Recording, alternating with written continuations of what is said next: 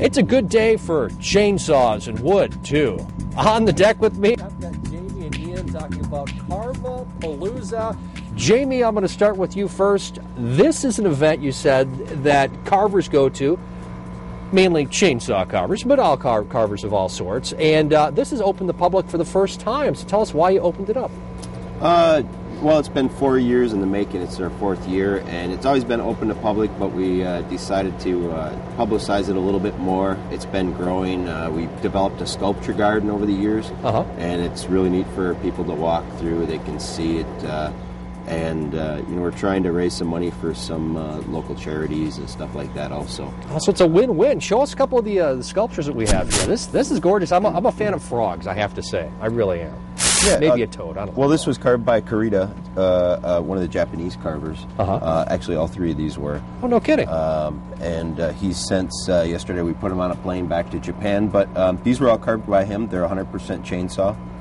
Um, just uh, amazing stuff, amazing work. It's delicate for a chainsaw. That's what. That's the really impressive part about that. And it's small. People are used to seeing, you know, uh, larger stuff. Uh, you know, it's it's really small. Something you would uh, possibly see from a hand carver. You know, hand carvers. And as you said, you got folks from Japan helping out with this, but uh, you've got more international people here. And joining me, we've got Ian from Wales. Ian, what are you doing here in Northeast Wisconsin? Well, it's just one of those. Really, it's you get the invites from the guys in Uh-huh. the carving family, really, Sure. and we we um, return the favour and invite him back over to the UK. Have you been here before? Is this first Nope, time? First time in Wisconsin. Uh, have you been enjoying yourself? I've loved every minute. You have. Honestly, You so have. friendly. Excellent. Now you've been working on uh, what looks to be like a bear. Right now, at this point in time, it's a little bit square Yep. for a bear. bit blocked out. But uh, quickly, uh, Jamie, tell us uh, where and when you can uh, see everyone carving and see all of the great finished products as well. Uh, all weekend, Saturday and Sunday, 10 till 6.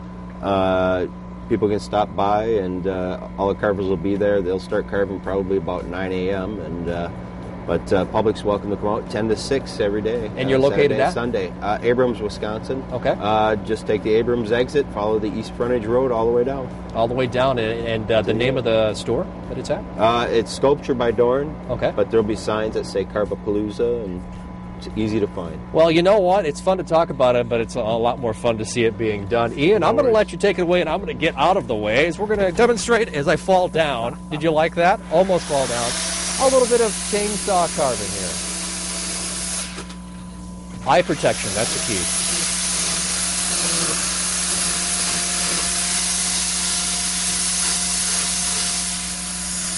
Oh, it really does have a nice little touch with that chainsaw.